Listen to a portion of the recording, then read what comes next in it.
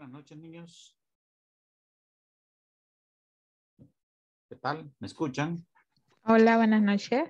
¿Qué tal? Hola, buenas noches. Bien, aquí. Ah, ahorita veamos. Carolina. Yesenia Carolina. Yesenia Carolina. Grecia Maritza. Solo la oigo, pero no la veo. No la veo, Grecia. José Daniel la veo. A José Daniel Aguilar. Aquí estoy.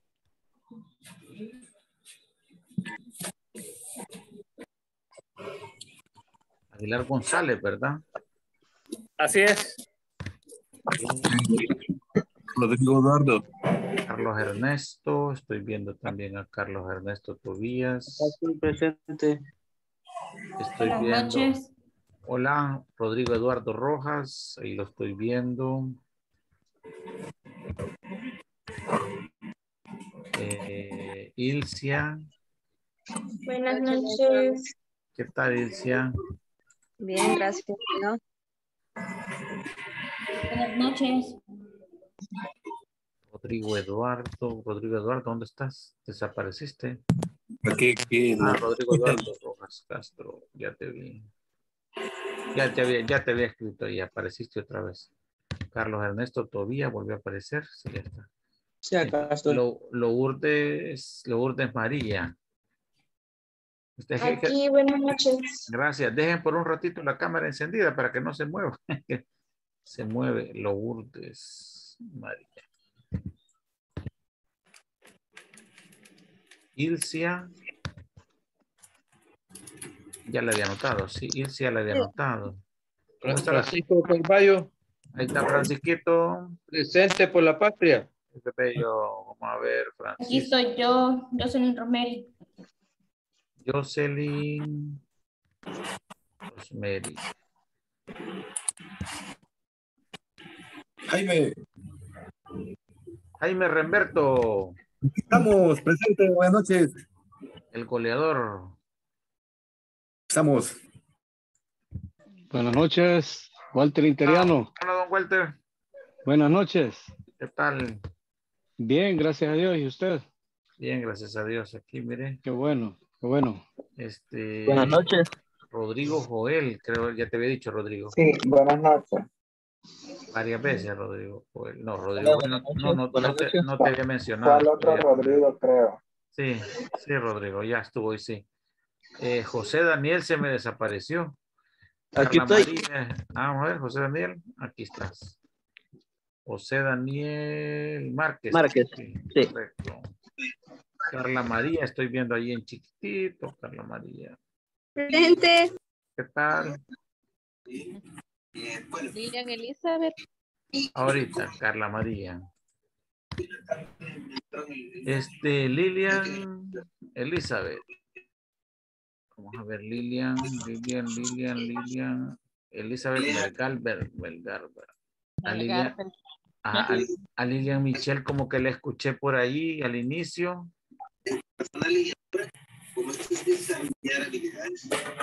No, ¿verdad? Diana Carolina, le... Sí, ya la había, a usted sí la había puesto de los primeros. Ay, gracias. Diana Carolina de los primeros. Este. Grecia, ya estuvo. Eh, a ver, Jocelyn Rosemary. Pues ya estuvo, ya lo que tenía también. Eh, Jacqueline Roxana. ¿Qué tal, Jacqueline? ¿Qué tal? Eh, ¿Está enfermita? ¿Y qué tiene usted? Fíjate que con calentura y dolor de cuerpo estoy Ay, Dios santo. ¿Usted en los cambios de clima? quizás sí, Primero Dios, porque ya se puso las 450 vacunas que le ponen a uno ahora. todavía me faltan unas. Ah, le Ay. falta todavía. Ay, primero Dios que no sea nada malo. Sí, gracias. sí. Primero Dios que no. Vaya, me avisan alguien. Vale, voy a decir a ver si alguien está. Flor de María Muñoz. Hola, buenas noches. Flor de María. Hola, Flor de María. Ya, ya me la estaba saltando. Eh, Glenda, Glenda Noemí. ¿Apareció? No. Janeta Abigail. No. Buenas noches, soy Liliana Michelle Cortés. Hola Liliana. Hola, buenas noches. Liliana Michelle. Vamos a ver. Liliana Michelle. Ah, es que Lilian Elizabeth había puesto. Sí, Liliana Michelle, aquí está ya. Gracias. Este, quiero ver quién más no tengo. Janet Abigail. No. Aquí, buenas noches. Hola Janet, ¿cómo está? Bien, gracias a Dios. Vaya, qué bueno. Josué Samuel. No va. Leticia Esperanza.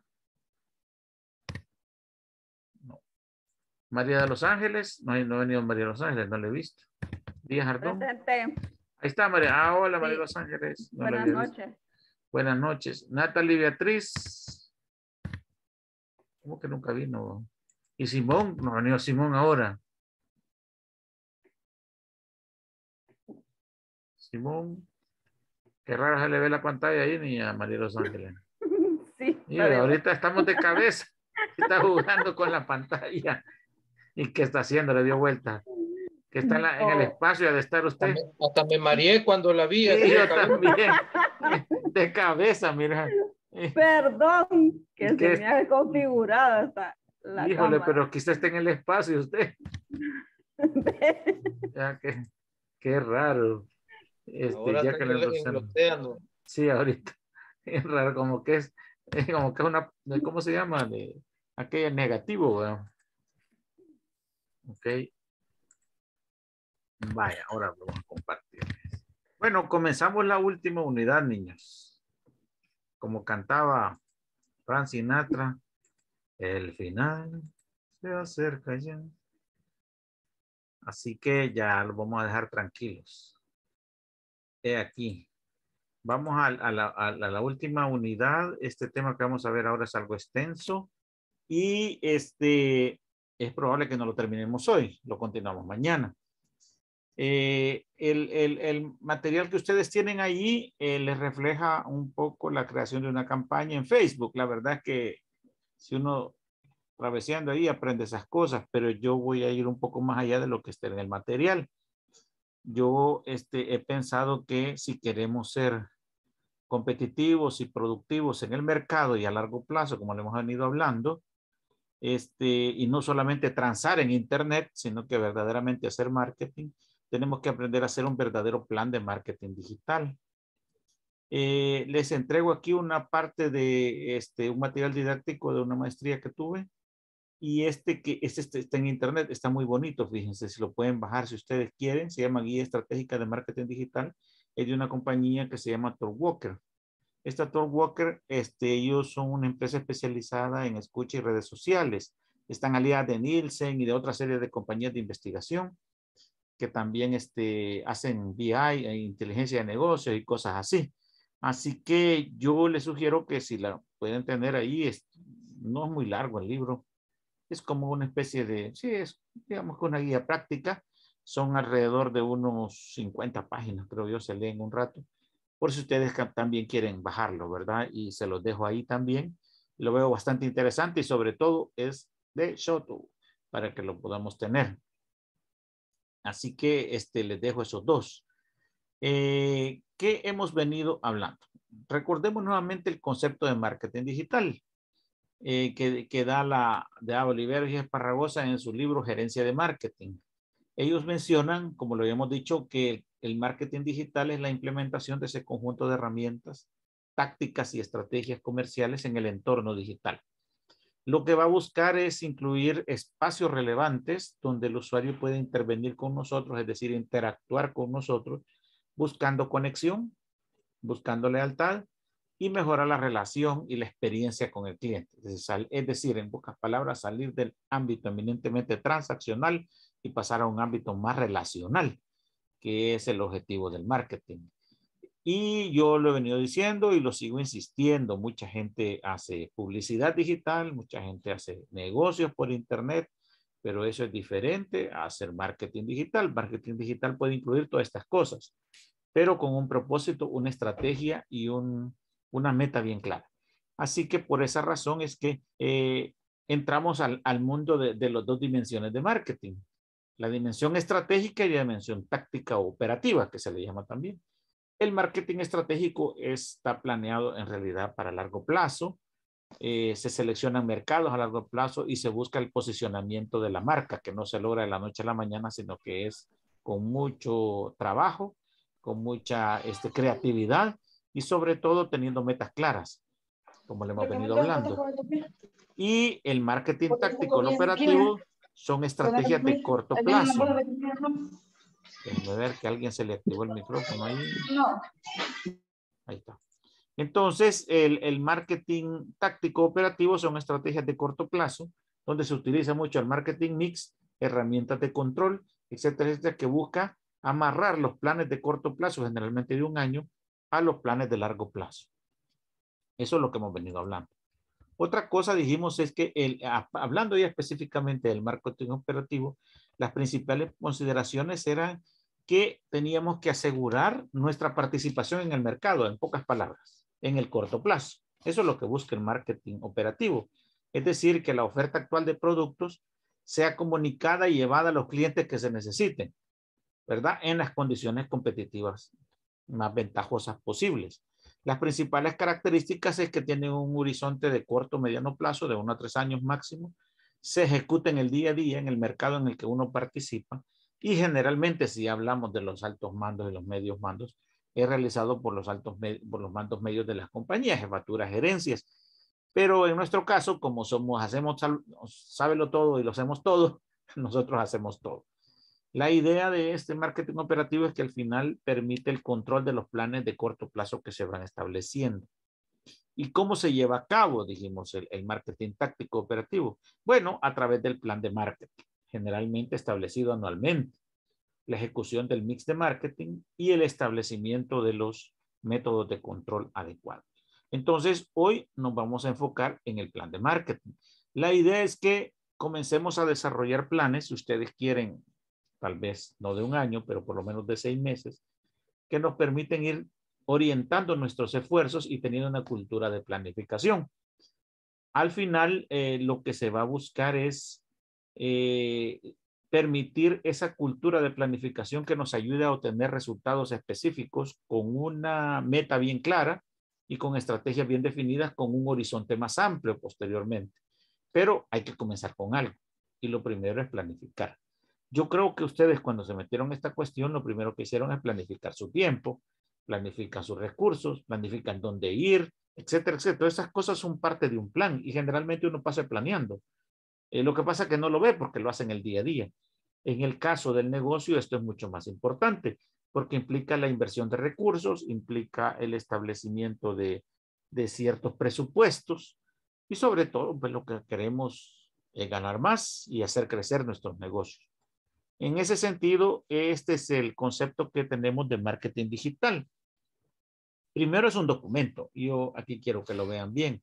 Está bien, muchos de nosotros estamos acostumbrados a tener nuestro plan en la cabecita y no es malo, pero lo mejor es dejar plasmado esto en un documento. Y este documento lo que va a buscar es, eh, puede ser digital o impreso, como ustedes quieran, pero marca los pasos de la empresa. Eso es lo que hace. Es una ruta es una ruta, de, de, es una guía de ruta hacia dónde voy.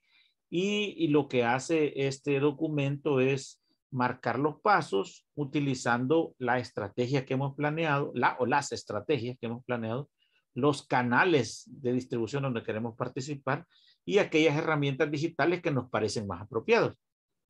La idea es alcanzar estos objetivos en un plazo determinado de tiempo.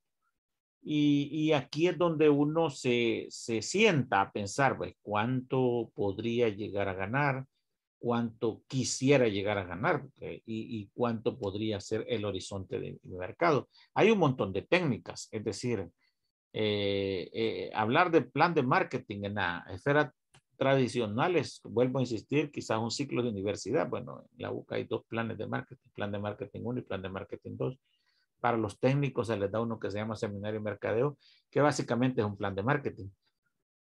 Pero lleva su tiempo estudiarlo. Aquí vamos a tratar de dos lecciones a lo sumo, primero Dios, no pasemos a la tercera, este, tener eh, los pasos claros de cómo ustedes se pueden sentar con sus socios, si es que lo tienen, o ustedes mismos con alguien que nos ayude a trabajar y a sentarnos a determinar el, el proceso más sencillo, práctico y de acuerdo a nuestros conocimientos de mortales, ¿va? porque no somos expertos en, en esto, pero que nos ayuden a guiarnos sobre todo y establecer una ruta clara hacia dónde queremos llegar. Entonces, este es el concepto de marketing digital que tenemos como, como documento estratégico que marca los pasos que vamos a tener. ¿Cuáles son esos pasos? ¿Qué pasos debemos de seguir para, para establecer un, un plan de marketing digital? Bueno, tenemos que comenzar con un análisis de nuestro entorno, ¿verdad? Ya vamos a ver las herramientas de análisis que tenemos. Eh, pueden haber más, y de hecho, si ustedes, cuando ustedes vayan leyendo esos libros que, que, se les ha puesto ahí, se van a dar cuenta que hay muchas más herramientas de análisis. No es la única, pues, pero aquí se les dan algunos, algunas ideas. Segundo es que tenemos que definitivamente definir una ventaja competitiva. Ya vamos a aclarar el concepto y cómo lo podemos hacer y los tipos de ventaja competitiva que existen. Pero, ¿qué es lo que nos va a permitir la ventaja competitiva? Bueno, nos va a permitir, en pocas palabras, ver cómo podemos ganar. La ventaja competitiva se ve en todos los ámbitos. Eh, de hecho, eh, en, el, en, el, fútbol eso se ve muy seguido. Pues, ¿cuál es mi ventaja competitiva sobre otro?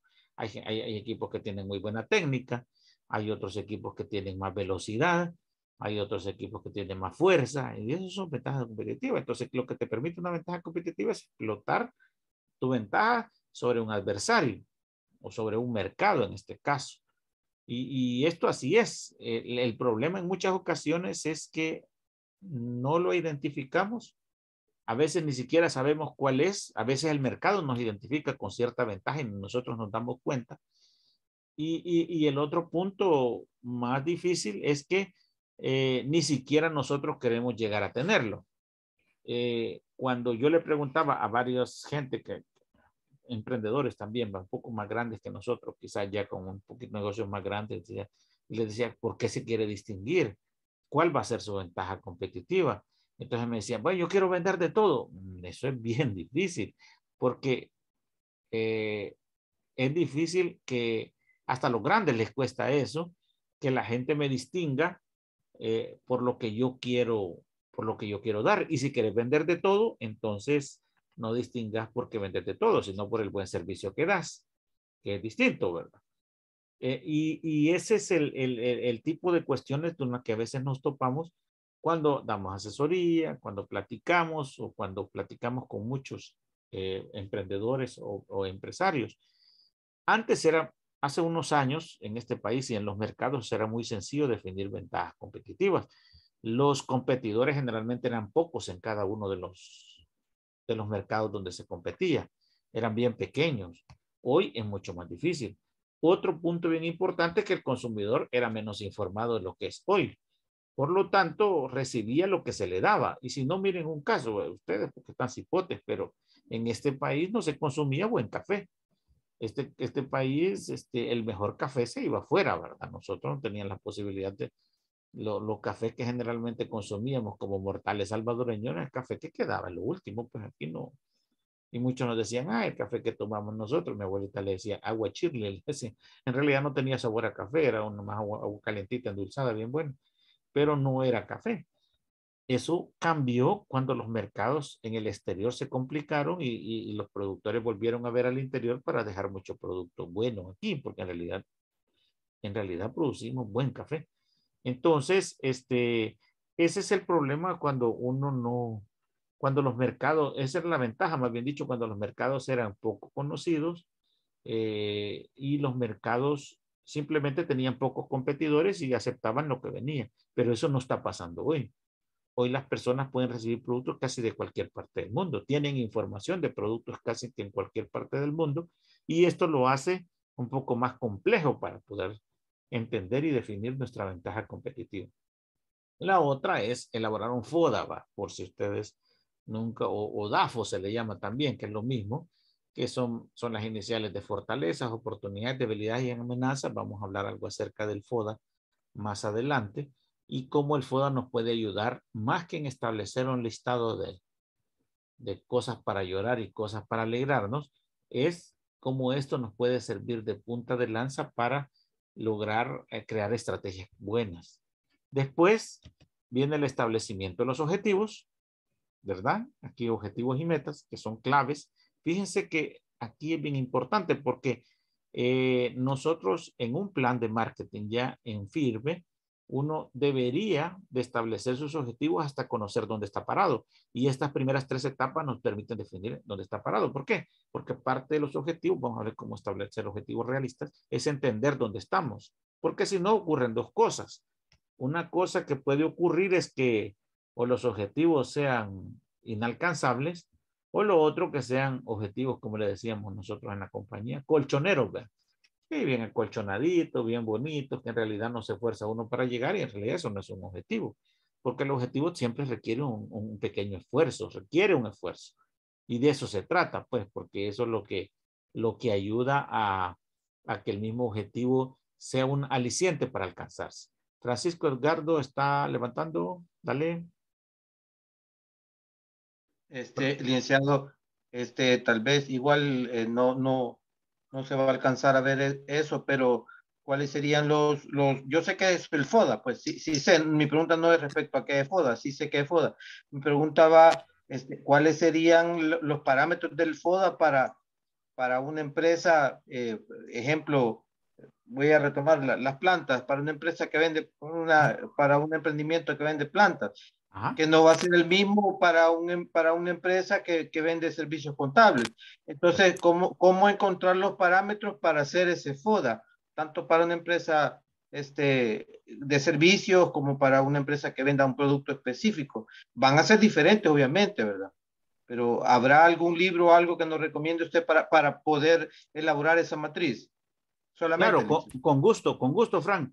Pero eh, de, ya te tengo una, un poco la respuesta. Estos dos pasos previos nos van a dar los, los inputs o los elementos necesarios para crear el FOD. Estos dos, el entorno y la ventaja competitiva.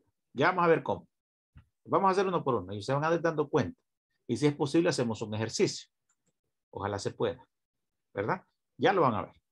Ahora viene el establecimiento de las estrategias de marketing online. Fumarse una estrategia es lo más chivazo que puede haber. Y si ustedes se pueden fumar una, Perfecto. De hecho, el libro este que les estoy hablando de Tom Walker, creo que es, es ese libro, esa empresa, dice eh, el impacto y la creatividad que tiene fumarse la estrategia. Sin embargo, yo les voy a generar acá, dentro de esto, tres estrategias genéricas, tres o cuatro me parece que, que les traigo de marketing online. ¿Y, de dónde pueden salir? ¿Verdad? Es, eh, les traigo alguna idea para que lo tengan en cuenta antes de, de, de, del tema de la... Porque plantearse una estrategia, en realidad todos nosotros somos estratégicos en algún modo, pero a veces uno lo que le cuesta es cómo plantearlo, ¿verdad? A veces se plantea como objetivo, a veces no, es decir, ese es el tema más difícil. Por eso es que eh, se traigo algunas genéricas aquí para que ustedes las vean y, y, y de ahí tomemos alguna decisión. Entonces, este, después, el siguiente, encontrar o seleccionar, más bien dicho, qué herramientas del marketing online me van a servir para desarrollar estas estrategias, cumplir los objetivos con esa ventaja competitiva que voy a tener. ¿Verdad? De eso se trata. ¿Y cuáles van a ser esas herramientas? Bueno, ya las vimos en marketing de contenidos y un montón. Aquí es donde nosotros hacemos una especie de, ¿cómo explicarles? Como cuando, va, les voy a poner un ejemplo. Mi objetivo es, yo trato de poner ejemplos hasta ridículos a veces, pero son los que se me ocurren a veces en el momento. Mi objetivo es perder peso, ¿verdad? Ese es mi objetivo. Mi estrategia es bajar por lo menos unos, eh, quiero ser unos tres, unos tres libras mensuales, digamos, a través de buena alimentación, ¿verdad? Esa es mi estrategia. ¿Qué herramientas cuento? Bueno, en primer lugar, cuento con una dieta. En segundo lugar, cuento con lo que nunca tienen las dietas, comida normal. No sé si a ustedes les pasa, ¿no? Las más cosas que me dan es que todavía me ponen cosas que no hay aquí.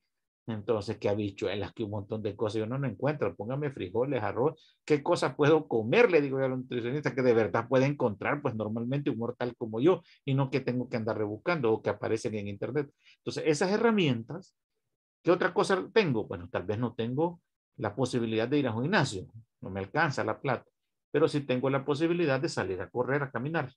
¿En dónde? En este. Entonces, todas esas herramientas que yo ya conozco, agarro y hago una mezcla de todas esas para desarrollar la estrategia y para cumplir el objetivo. Ah, pues así vamos a hacer aquí todo ese montón de estrategias que ustedes hemos visto.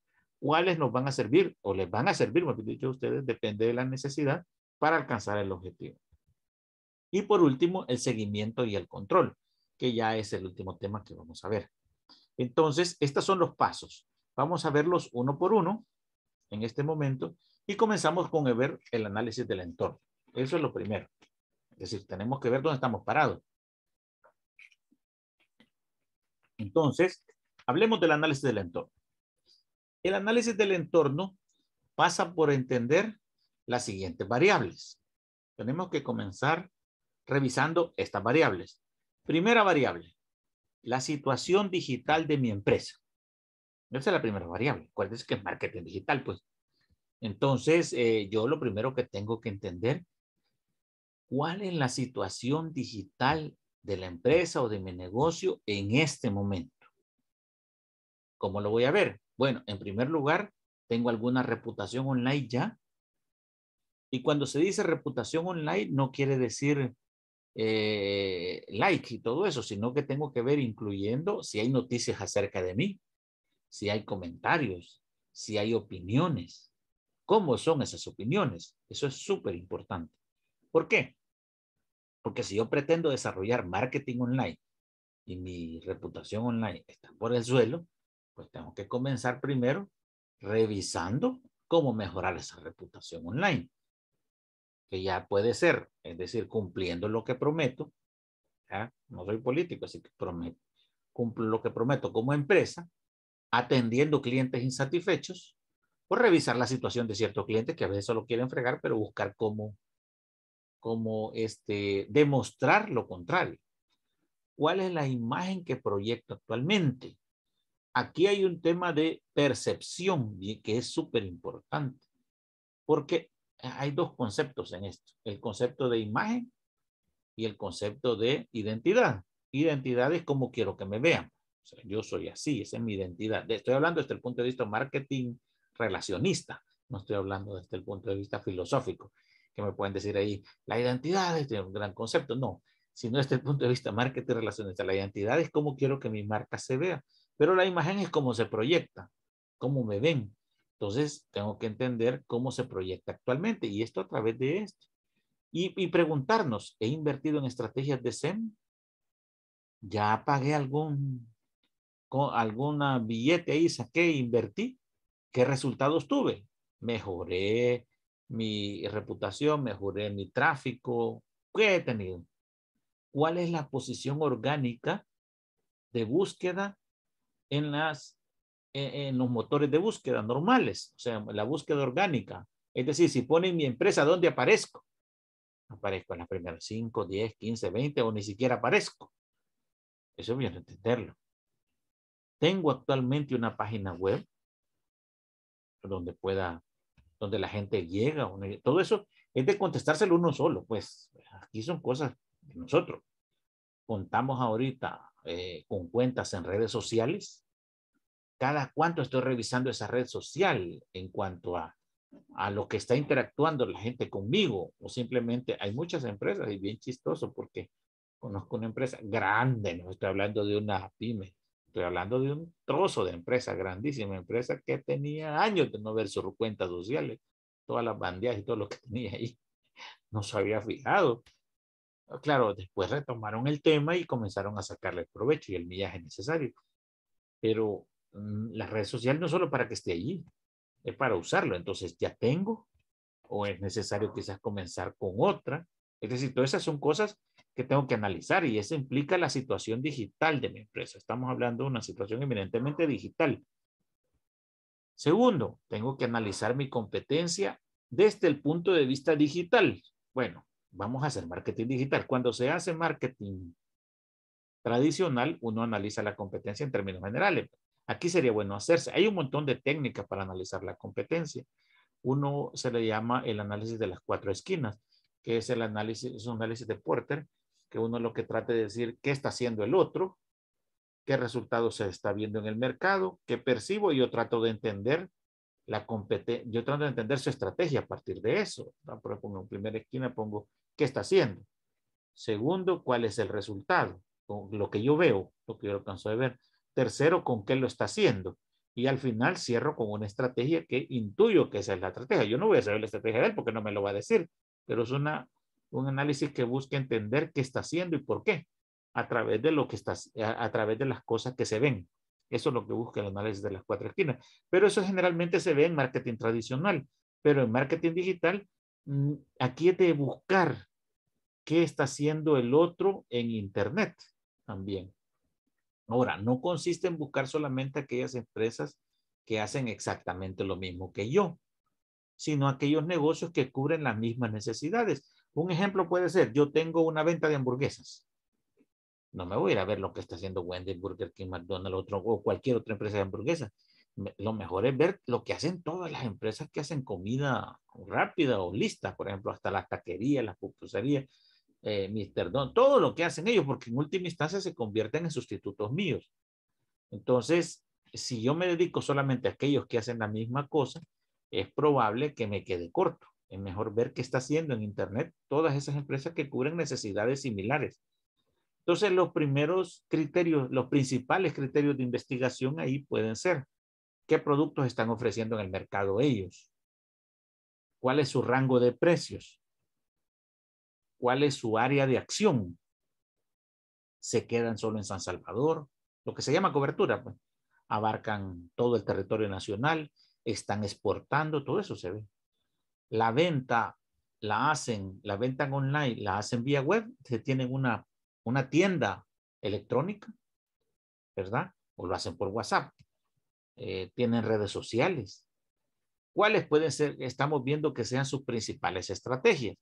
¿A dónde se están enfocando? Es decir, ese, ese tipo de, de preguntas escritas nos ayudan. Por eso de aquí, Fran, va saliendo el FODA. De aquí va saliendo el FODA.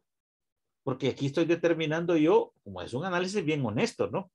en qué cosas eh, eh, soy fuerte o en qué cosas puede estar siendo débil o cuáles podrían ser mis oportunidades. ¿Me explico? O sea que aquí tomo, la, la una, tomo un lado de la matriz, ¿verdad? Esto Correcto. Aquí está ya. El otro, lado, el otro lado de la matriz me baso en el tiempo, ¿verdad? Ya sea seis meses, tres meses, qué sé yo. Pero esto sería como del lado derecho para, para poder ver para lo, que voy a medir o lo que voy a, comparar. Correcto, porque aquí está uno ya eh, eh, eh, centrándose uno dónde está parado en el tema digital y cómo está tu competencia.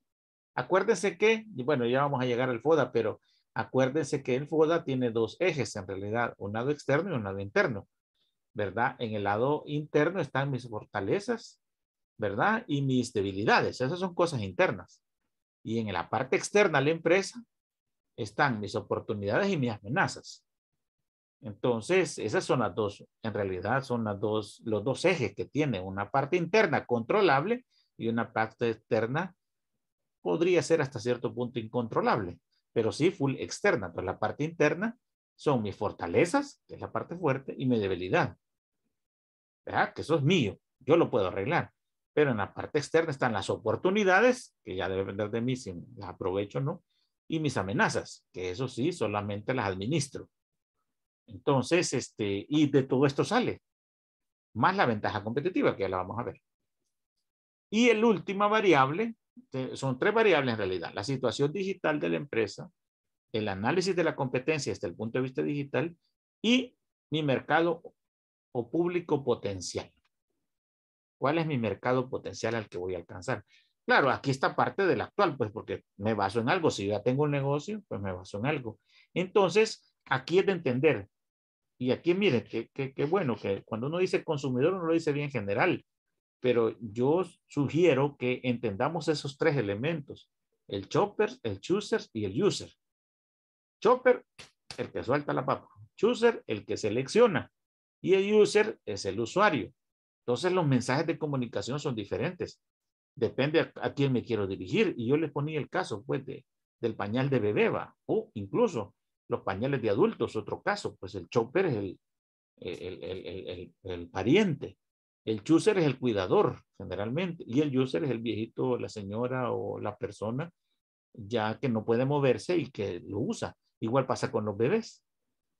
Igual pasa con los niños que tienen juguetes. Ellos son los usuarios. Y ahora, el chopper en muchas ocasiones pasa sobre los deseos de los otros dos. Y fíjense bien cómo es de yuca esto. Esto, esto es, ya le estoy dando una clase que es principio básico del chopper marketing actual. Pero este, este lo voy a deber, pero más amplitud. Pero el chopper marketing actual tiene una premisa. Yo voy sobre mi chopper, porque el chopper, si son diferentes personas, puede pasar sobre, el, sobre los deseos del chooser y el user. Y un ejemplo, pues un cipotío puede querer dulces o puede querer eh, juguetes en el supermercado. Todos los niños que lo llevan al super quieren un juguete siempre. Pero si yo no tengo pistón, no se lo compro. El chopper es el que manda. Aunque le estén dando publicidad al niño que se lleve el juguete. Entonces, y lo segundo es que puede ser la misma persona, pero el estado mental es distinto. Es distinto cuando están de user, cuando están de chopper, de chopper y de users y de, y de choosers. Son diferentes los estados mentales y eso está comprobado. Y yo les voy a poner un ejemplo. Fran, ¿qué sucedería si yo te digo en este momento, Fran, dejemos tirado esta osada y nos vamos a la, a la hacienda real con un vinito y un buen corte de carne con una entraña, Fran? ¿Qué dirías? Eh, depende del día, depende del día, no, yo, vámonos. Yo te digo ahorita, Frank, dejamos tirados todos estos hermanos aquí y nos vamos con un vinito y un buen corte de carne en entraña, ¿verdad? ¿Por qué? Yo invito, Frank, yo invito. Tú vas como user, tú vas como user, pero ¿qué pasa, Frank? Si vas tú solo y te vas a ir a echar una cena así por así, y tú sos el chopper. ya, no, ya, no, pues. ya, ya, ya, ve que es la misma persona, pero el estado mental cambia. Es diferente. Es diferente. Entonces, por esa razón es que hay que identificar los tres. Si los tres son los mismos, incluso hay que identificarlos. Inviten, dice Lilian. Vamos, Lilian, no hay problema. Entonces, ven que es distinto. Entonces, aquí tengo que identificar variables como el sexo, la edad, los niveles socioeconómicos, que son súper importantes también tengo que entender dónde están. ¿Por qué? Porque si ofrezco algo, una oferta de productos, tengo que saber que si el mercado es regional o global incluso, tengo y, y, hago una promesa de entrega, tengo que tener los recursos para hacer esa entrega. No puedo así nomás. Y si no, mejor me quedo en un mercado local. ¿Verdad? La otra variable que hay que entender aquí es cuáles son las razones de elección de un producto. Un producto como lo que vendemos. Es la calidad, es el servicio, la rapidez, exclusividad puede ser, el precio, la moda, la utilidad, la necesidad, etcétera, etcétera. Entonces, es de sentarse a pensar eso. Y también aquí están nuestras oportunidades, hablando de las partes externas. Otra pregunta que hay que hacer. ¿Dónde y cómo buscan información?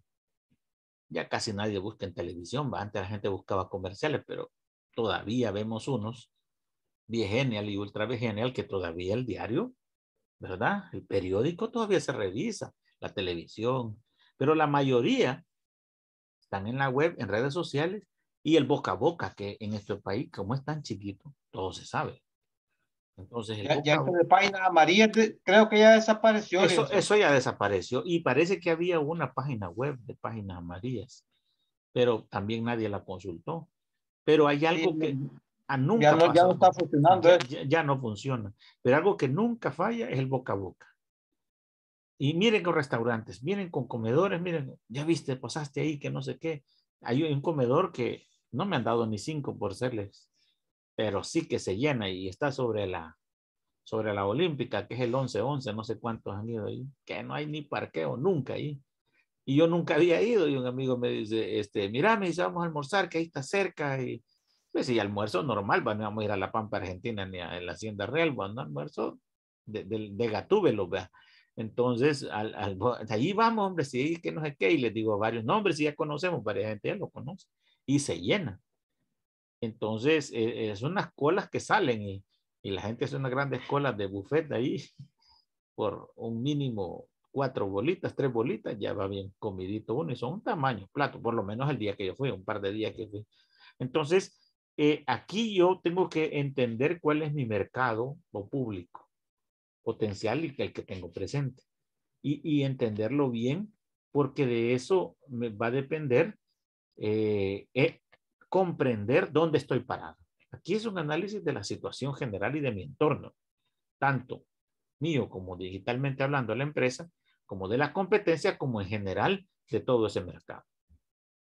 Entonces, ese es el primer paso, el, análisis del entorno, que, bueno, que se. Segundo, defino mi ventaja competitiva. ¿Qué es una ventaja competitiva? Yo les tengo aquí, hay un montón de conceptos. Eh, este de Santemeses Mestre de Fundamentos de Marketing me gustó mucho porque muy práctico y sencillo. Hay otros que hablan naranja, saca de contra no sé qué. Entonces, este, este me, me gustó a mí. Dice que es una diferencia positiva.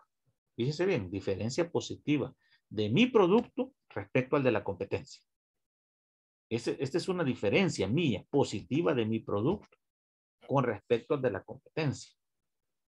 Esta diferencia puede ser de varias cosas. Por ejemplo, mejor calidad, eh, menor precio, un excelente sistema de distribución que entregue rápido, a tiempo y, este, y eficientemente. La imagen de la marca es una, es una imagen competitiva.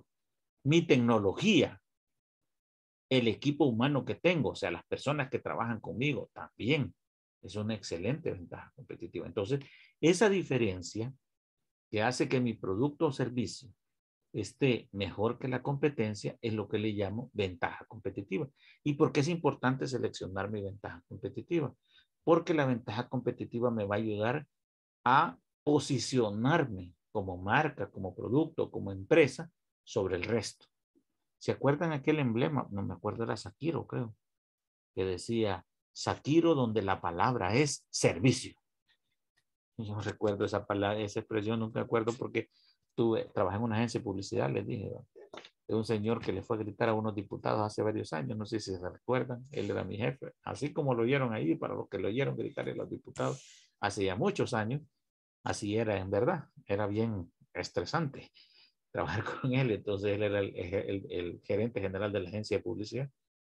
Y le habla al dueño, al gerente general de Sakiro en su momento. Él tenía una camioneta patrol blindada en aquella época que casi nadie tenía. Estaba jovencito yo, mis hijos estaban chiquitos.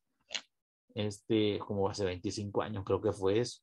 Y nunca se me olvida que agarró el teléfono y le dijo al, al gerente general o al presidente de Sakiro, mira vos le dije, ¿Y cómo decís que tu emblema o tu mensaje es de que la palabra es servicio? Y el otro día quise llegar el sábado y ya, había cerrado. Le digo, ¿cómo es eso que servicio? Cerras a mediodía. Entonces, yo a mí se me quedó grabado eso, fíjense, que lo que uno dice o agarra como ventaja competitiva, tiene que sostenerlo. Por eso es que para que una ventaja competitiva sea verdaderamente efectiva, tiene que tener estas características. Primero, tiene que ser sostenible en el tiempo.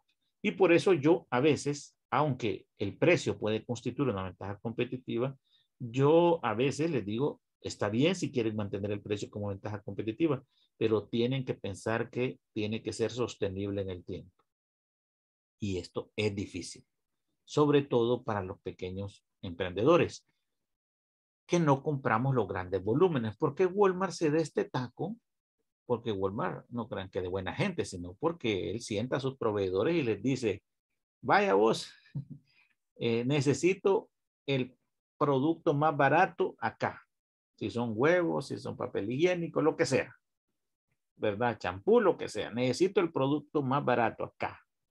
¿Me lo vas a dar vos? No, que no sé qué, que no me dan los costos. Va, está bien, no hay problema, yo me voy con otro y a quién le da, y como todo el mundo quiere vender en Walmart a nivel global, ¿verdad? porque es donde más se factura, siempre encuentra a alguien a quien le da el mejor precio. Y si no, ellos tienen su marca propia también, que le fabrica a alguien por otro lado para, para mantener esto. Entonces, eso los hace que su estrategia de precios bajos sea sostenible en el tiempo. Aún así, quisieron cambiarla en la crisis de los 80, de los, hoy de los 2000, quisieron cambiarlo un poco porque se traveleron un poco porque la situación se puso compleja. Entonces, es bien importante que sea cual sea la ventaja competitiva que queremos elegir o que hemos identificado que podemos tener, debe ser sostenible en el tiempo. Segundo, que netamente esa ventaja sea superior a la competencia. Si es calidad, pues que de verdad nuestro producto se distinga por la calidad. Una ventaja competitiva de calidad puede desarrollarse y cambiarse en el transcurso del tiempo, sí, puede, pero requiere inversión y requiere trabajo. Y si no, miren el ejemplo de los de los de las marcas de vehículos coreanas, pues hace unos 15 años nadie daba ni cinco por eso. Miren cuánto vale un Hyundai ahora. Un Kia. Y ya en Estados Unidos y, y, Europa ya se reconoce como marcas más baratas casi siempre que las japonesas y que las propias gringas incluso, pero ya se reconoce como un carro bueno. Entonces, ellos trabajaron en mejorar eso y trabajaron en de verdad demostrar que podían tener cierto nivel de calidad superior a sus competidores, pero hay que trabajar en eso y tiene que distinguirse. Otro es que mi ventaja competitiva tiene que ser aplicable en situaciones variadas. Y esto tiene que ver con la sostenibilidad en el tiempo, porque si yo digo que es precio, sí es precio, pero solamente en estos productos y no en otros. Y eso no puede ser así. Si es precio, va a ser precio. Entonces, tengo que estar listo para que esta ventaja competitiva puede ser aplicable en diferentes situaciones. Y lo último es que una imagen competitiva que no esté relacionada al núcleo de mi negocio no va a lograr posicionarse en la mente. ¿Por qué? Si Coca-Cola decidiese que su ventaja competitiva no está relacionada al sabor único de su bebida, eh, no tiene sentido, porque lo que la hace diferente es el sabor único en su bebida. Dicen que, dicen, va, los chambres, no sé si es cierto, que solo dos personas en el mundo conocen la fórmula de Coca-Cola y no pueden viajar juntos en un avión. Es decir, eh, igual que el algoritmo de Google, que es único en el mundo y, lo hace tan rápido y nadie lo conoce. Y está siendo continuamente cambiado lo conocen uno o dos personas en el mundo. Entonces dicen, pues, no sé si es cierto o si será chambre de ultratumba, pero esta cuestión implica que esa ventaja competitiva me va estar, va a estar relacionada con la naturaleza y el núcleo de mi negocio para poder posicionarse. ¿Qué tengo que hacer con mi ventaja competitiva? Pues si esa es mi fortaleza, si esa es con lo que yo voy a competir y a distinguirme de los otros, pues a sacarle provecho probablemente, vuelvo a insistir, ya la tengamos y no nos hemos dado cuenta. Pero esto quiere decir, esto implica hacerse un examen propio de lo que nosotros ya tenemos y con lo que nosotros contamos. Porque si no, eh, nosotros no vamos a andar, no vamos a saber ni, ni cómo establecer una verdadera estrategia. ¿Mande? No. Entonces, algo que, que a mí me impactó de, de las, de, de, estos panes, por ejemplo, no sé si los conocen, los choris. ¿Quién no ha comido choris? Todos hemos comido choris. Y a mí me encantó que cuando por un peso uno comía de todo, con todo y Coca-Cola o uno, uno diez, creo que no me acuerdo. Pero cuando le iban a subir, no sé si 10 o 15 centavos por los costos, hasta en el periódico salió entonces salió que se disculpaban con sus clientes que tenían que subir por esto y esto. Y, a mí me causó gracia, porque todos sabemos que un buen almuerzo es un chori con una soda y estuvo rapidito al mandado y uno no tiene que gastar mucho. Eso es una ventaja competitiva de ellos, un buen producto por el precio que se tiene con un buen servicio, porque rapidito le entregan el producto y se lo lleva uno. Eso hace la diferencia entre este tipo de marca que ya tienen una marca y otro montón de gente que también pretende hacer hot dog. Entonces, ven que, pero, ¿cuál es el punto acá? Que han identificado en qué se quieren enfocar. Entonces, la ventaja competitiva me ayuda para dos cosas. Primero, para entender dónde pueden ir mis estrategias y segundo, para enfocarme. Porque eso me va a ayudar a tener claro cuál va a ser la estrategia en el que me voy a enfocar. Y el último característica de una ventaja competitiva es que debe de ser difícil de imitar. Por eso les digo, si es precio, eso es bien complicado. Pero sí, la calidad y un excelente servicio pueden ser excelentes ventajas competitivas. ¿Cuáles son algunas fuentes que podemos encontrar para, para buscar alguna ventaja competitiva para nuestro negocio? Eh, ¿Cómo podemos buscar eh, cuáles pudiesen ser mis, mis ventajas competitivas? ¿De dónde puedo encontrarlas? Bueno, aquí les tengo algunas ideas. El servicio al cliente puede ser tanto en atención como entregas, como en el manejo de reclamos. Hay, hay, hay empresas que definitivamente si algo no tienen es cómo reclamar yo creo que es normal que, y no les gusta que le reclamen, yo creo que es normal que las personas reclamen, pues eso es normal. Entonces, pero yo puedo generar un excelente servicio en cualquiera de estas áreas o en las tres si es posible. Eh, Carla María dice, si logro identificar esa ventaja competitiva, es viable hacer una encuesta. Él sería buenísimo. Eso sería lo mejor, Carla María. Eh, si lo logra identificar y preguntarles cómo lo perciben. Eso sería buenísimo, pero después de un tiempo, desarrolle esa ventaja y después pregunte. No al inicio, porque requiere la identificación de la gente de esa ventaja competitiva. Ese es una fuente de, de ventaja competitiva. Otro puede ser las promociones. Dice, soy el mejor en hacer promociones. Y aquí también puede pasar con descuentos continuos, puede ser pequeños descuentos continuamente, o profundidad de descuentos. Cuando hablo profundidad es con intensidad, tal vez no son tan continuos, pero con una intensidad exagerada. Por ejemplo, Pamper se distinguió por los famosos dos por uno y la gente los espera. Las grandes cajotas que valen un montón de pistos, yo compro dos por uno, entonces la gente identificó eso y hasta espera la promoción. ¿Verdad? Eh, eh, y, famoso, el famoso Viernes Negro, licenciado. El famoso Viernes Negro, que surgió como con eso. Entonces, entonces yo puedo distinguirme, incluso puede ser por promociones creativas, ¿no? Que, le den, incluyendo la percepción de ser el más barato. Y fíjense que esto es bien yuca, porque usted tiene dos tipos de precios, el precio real y el precio percibido. El precio percibido tiene que ver cómo lo percibe el mercado. Entonces, a veces no es necesario ser el más barato, pero la percepción que da por el servicio, por el montón de cosas que las añadiduras que uno tiene, eh, le da la percepción de ser más barato que la competencia. Usted puede ser, tener una ventaja competitiva, pero eso sí, implica, vuelvo a insistir, sostenerlo en el tiempo. Otro, que el cambio el costo de cambiarse de mí, o sea, salirse de mí como cliente, irse a otro sea alto. Y ahí es lo que usan las telefónicas, pues los contratos y las penalidades. Venite, tal, bueno, de Cameron creo que usaba eso. Uno te sale tan barato esto y esto, pero si te salís, te clavo todo el contrato. Eso es una alternativa. Y eso se utiliza mucho en negocios B2B, o sea, business to business, de empresa a empresa pueden ser negocios de largo plazo en el que el, hay penalidad por dejar el negocio e irse con otro. También es una ventaja competitiva, ¿verdad? Mira, te doy un precio económico y el más barato del mercado durante un año, pero si te salís, te va a costar tanto. Entonces, eso también es viable. Otro, la calidad. Esto ya lo hemos hablado.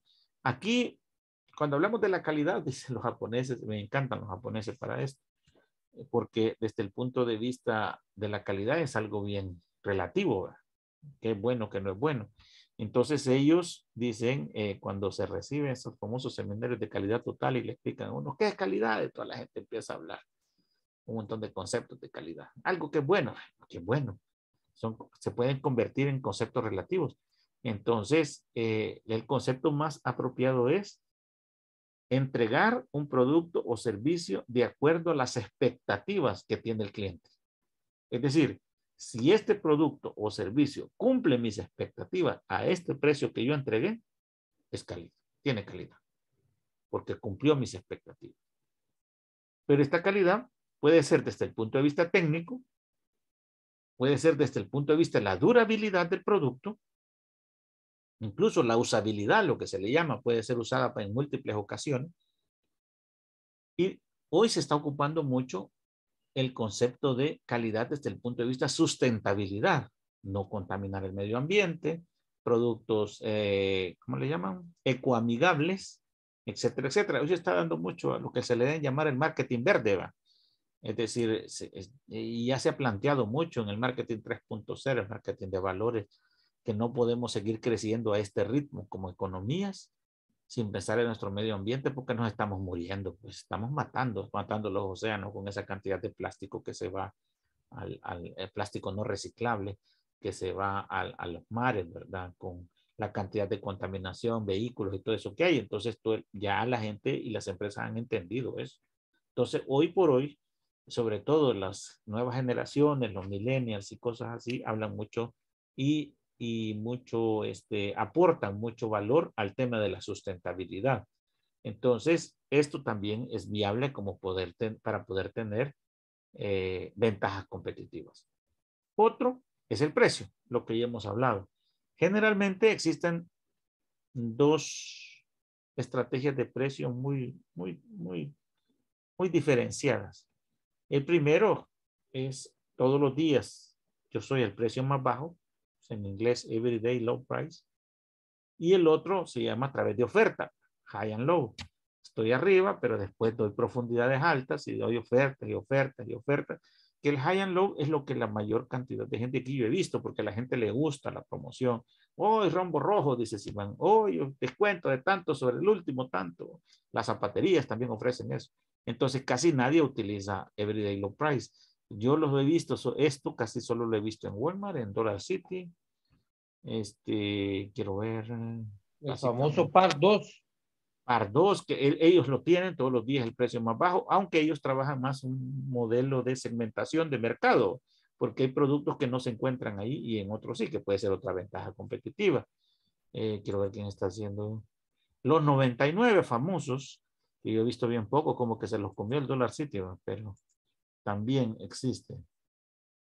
Otra ventaja competitiva que pueden agarrar ustedes, y aquí muchos, imagínense los que están dando, los que dan servicios como doctores, abogados, mecánicos, Este, curas, pastores, es el conocimiento.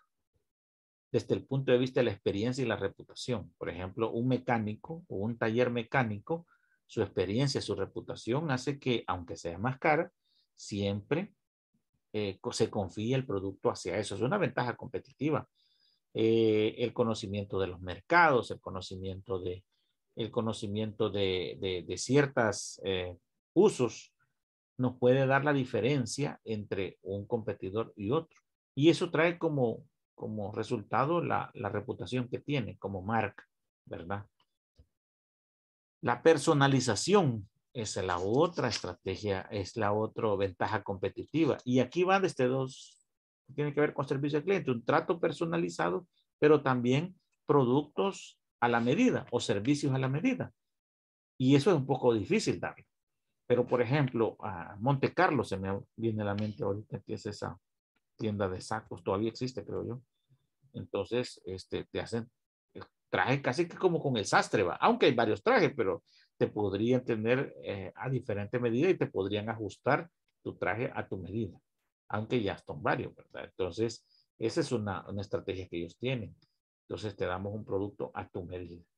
Eh, hay, hay, hay, unos que hacen grabaciones para, para momentos especiales, especialmente joyería, relojes, cosas así, ya son productos a la medida o servicios incluso un pool de servicios a la medida de acuerdo a las necesidades que usted tiene y se le entrega eso. Esto lo está ocupando también incluso eh, personas desarrolladoras de software, productos a la medida. ¿Qué quiere usted? ¿Quiere un ERP completo, este un sistema transaccional completo o quiere manejo de inventario? Usted venga, yo le acomodo su sistema de acuerdo a las necesidades de su negocio, son productos a la medida. Y, muchos desarrolladores de, de sistemas lo están haciendo ahora. Eso hago yo, licenciado. Ah, vaya, qué bueno. ya decía yo, Fran. Entonces, esa es, tu, es una ventaja competitiva tuya, porque hay diferentes tipos de negocios, ¿verdad? Entonces, eh, eh, no hay cosa mejor que uno sentirse como que solo a uno lo están atendiendo. Eso es lo mejor que puede haber. O sea, no me están dando un paquete para medio mundo como que yo voy a comprar SAP, incluso SAP para pymes y me va a costar, ¿cuánto cuesta un SAP, este, Fran? ¿Qué? 25 mil pesos, por barato que sea cuando yo puedo tener un sistema RP a la medida Y aquí, vea, con, con, atención personalizada, con este, lo más triste de cualquier cambio, ¿verdad, Fran? En, en, cualquier trauma de, de, cambio de sistema es el miedo. ¿Qué va a pasar si esto se traba? ¿Dónde va a estar el servicio no se le hacer mayor cosa al SAP. Tiene que adaptarse la empresa a eso. Así es, que es un gran problema de la mayoría de RPs. Es la empresa la que se adapta. En cambio, si, se le da un, un trato a la medida, este es un éxito para los emprendedores que trabajan en esta área. Eh, Glenda Noemí, ¿el qué es mentira, Glenda? ¿O no me lo estaba diciendo a mí? Ah. Bueno, entonces supongo que no es para mí. este, espero. Entonces, este es,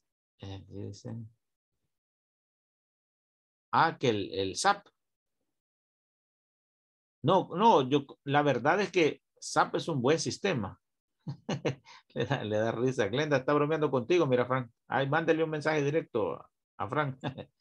bueno, entonces, eh, pero eh, eh, una de las cosas, de los estrés más complicados, hablando de sistemas, ¿verdad, Frank? Es el miedo a cambiarse de sistema. Bueno, nosotros como Inverton estamos cambiando el sistema de RP ahora en este momento y recuerdo que el dueño lo pensó mucho y decía, hemos escuchado historias de terror en los cambios de un ERP.